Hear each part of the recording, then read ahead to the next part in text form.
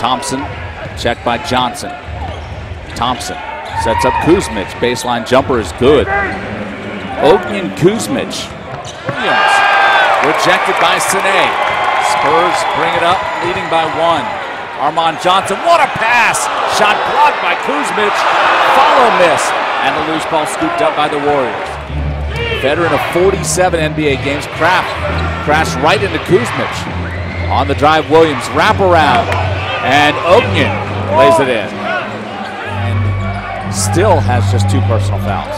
Did a nice job out there on the floor with two personals. Great position. Kuzmic lays it in around Sine. Points, two rebounds, one assist. Hobson against Kyle, goes baseline. Kuzmic lays it in. Off the mark.